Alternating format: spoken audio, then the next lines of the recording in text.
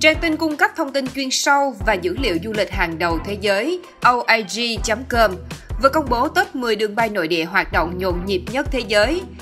Đây là những tuyến có số lượng ghế bán ra nhiều nhất từ tháng 10 năm 2021 đến tháng 9 năm 2022. Trong đó, khu vực châu Á-Thái Bình Dương áp đảo với 9 trên 10 tuyến đường bay. Đáng chú ý, tuyến đường bay Hà Nội, Thành phố Hồ Chí Minh đứng thứ tư trong top 10 tuyến hàng không nội địa hoạt động nhộn nhịp nhất với số lượng ghế lên đến 8 triệu 562.009. Đường bay Hà Nội Thành phố Hồ Chí Minh còn được gọi là đường bay vàng của hàng không Việt Nam bởi doanh thu và tần suất các chuyến bay trên tuyến này. Top 10 đường bay nội địa nhộn nhịp nhất lần lượt là đường bay Jeju Seoul Gimbo với hơn 16 triệu ghế, đường bay Sapporo New Chitozap Tokyo hơn 10,2 triệu ghế, đường bay Fukuoka Tokyo với 9,9 triệu ghế, đường bay Hà Nội Thành phố Hồ Chí Minh với 8,56 triệu ghế. Jeddah Riyadh King Khalid là hơn 7,3 triệu ghế. Melbourne, Sydney Kingsport Speak Up là 7 triệu ghế.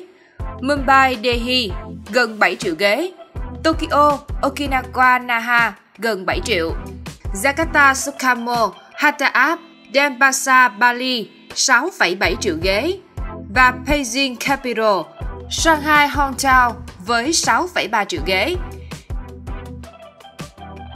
Trước đó tháng 6 vừa qua, Hiệp hội Vận tải Hàng không Quốc tế công bố Việt Nam đứng đầu trong danh sách 25 nước có thị trường hàng không nội địa phục hồi nhanh nhất thế giới. Trong đó, lượng hành khách quốc tế đạt 6,7 triệu khách, tăng 1.797,2% so với cùng kỳ năm 2021. Khách nội địa đạt 68,3 triệu khách, tăng 141,2% so với cùng kỳ năm 2021. Đặc biệt, các hãng hàng không trong nước vận chuyển 37 triệu khách, tăng 157% so với cùng kỳ năm 2021, trong đó có 2,9 triệu khách quốc tế, 34 triệu khách nội địa.